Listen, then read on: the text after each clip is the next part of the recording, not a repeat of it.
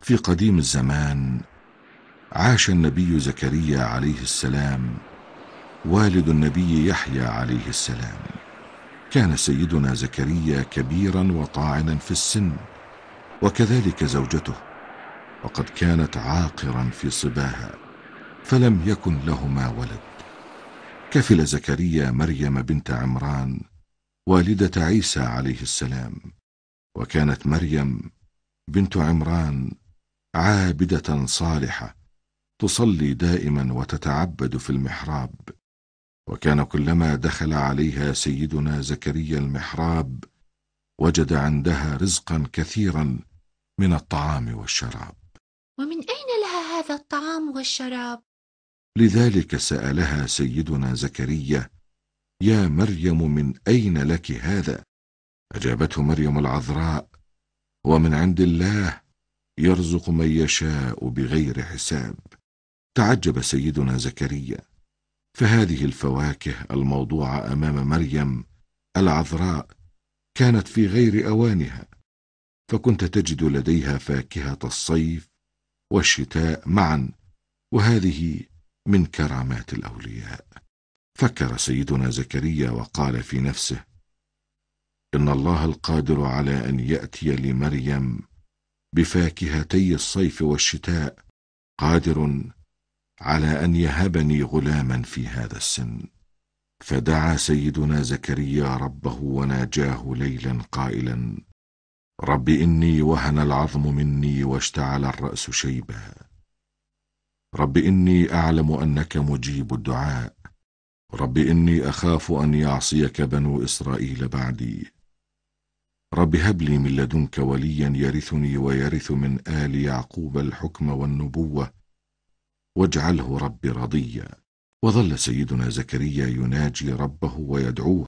فالله سبحانه وتعالى يحب العبد اللحوح في الدعاء الذي لا يمل ولا ييأس. من إجابة الله جلت قدرته لدعائه. كان سيدنا زكريا يشعر بحاجته للولد حتى لا يغير ويبدل بنو إسرائيل بعده شيئا وحتى يكون ولده وارثا له في النبوة. يأمر قومه بعبادة الله وطاعته وينهاهم عن الشرور والمعاصي فاستجاب الله لدعائه. فنادته الملائكة وهو قائم يصلي في المحراب. أعوذ بالله من الشيطان الرجيم. أن الله يبشرك بيحيى مصدقا بكلمة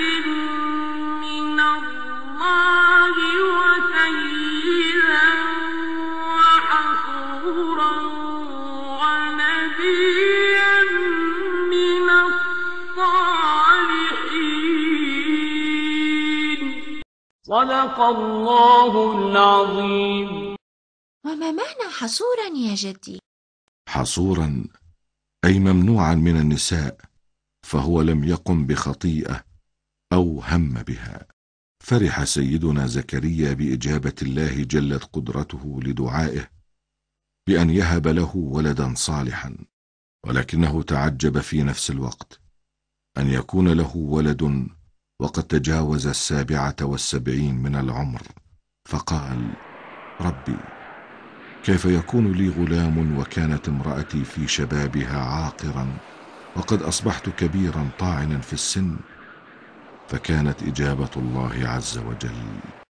قال كذلك قال ربك هو علي هين.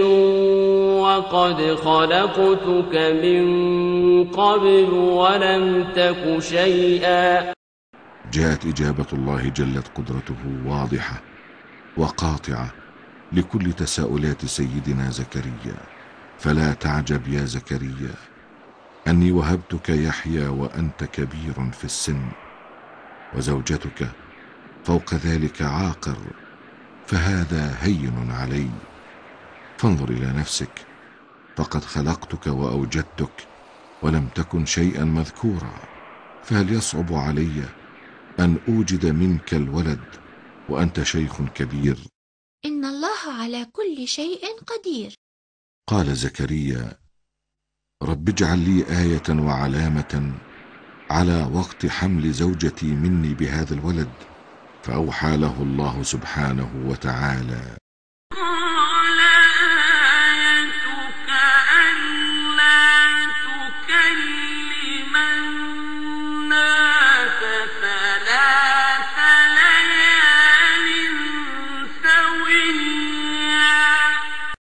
فاعترى السكوت زكريا عليه السلام.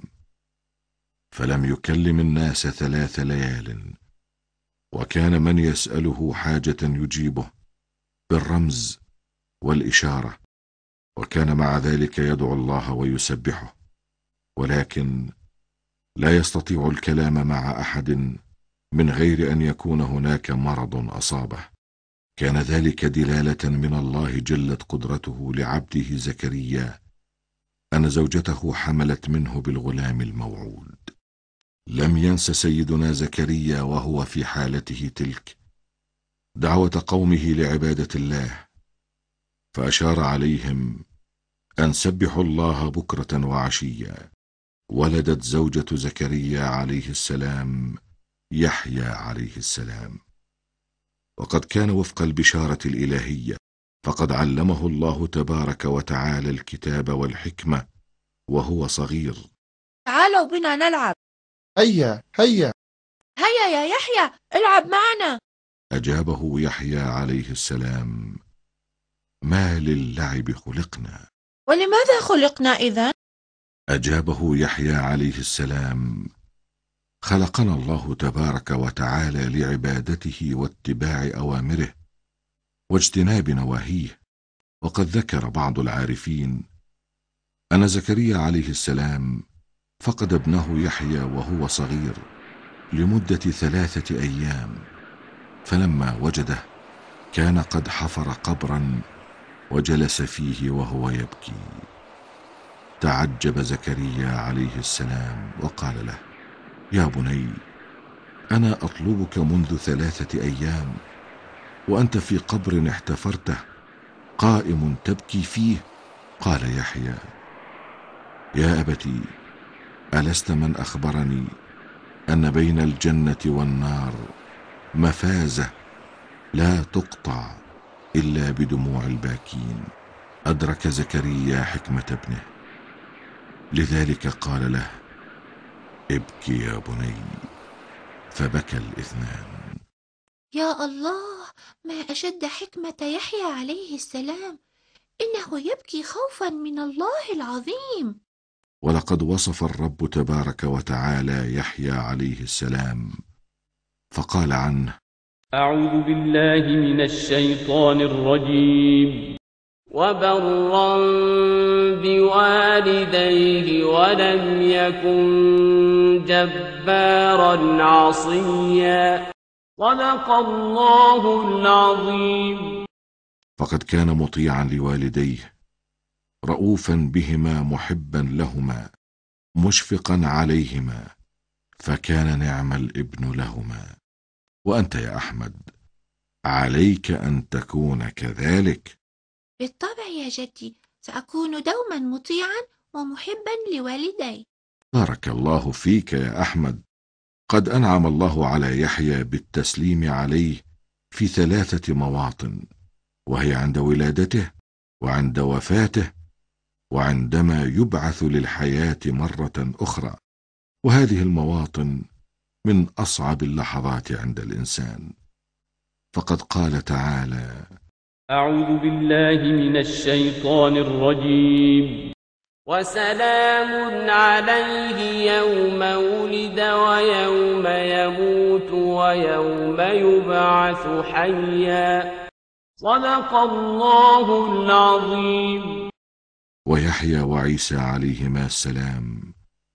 هما أبناء خالات فإن مريم أم عيسى عليه السلام هي أخت أم يحيى عليه السلام. وقد أمر الله سبحانه وتعالى نبيه يحيى بخمسة أمور أن يعمل بها وأن يأمر قومه بالعمل بها ولكن يحيى تباطأ. فقال له عيسى عليه السلام إنك قد أمرت بخمس كلمات أن تعمل بها وتأمر بني إسرائيل أن يعملوا بها فإما أن تبلغها وإما أن أبلغها.